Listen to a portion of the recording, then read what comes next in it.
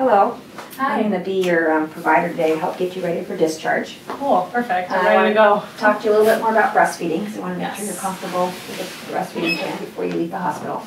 Um, I understand you're having some breast pain. Can you tell me a little bit more? So it was feeling fine for the first two days, but today, this morning, I woke up and my breasts just felt really heavy and full.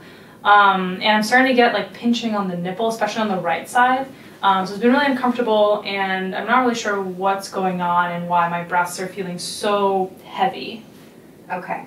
So we should probably do an exam and then also work on some latch technique with you, Yes. and then develop a, a good plan for feeding for once you get home. that sounds perfect. Let's do Okay. that.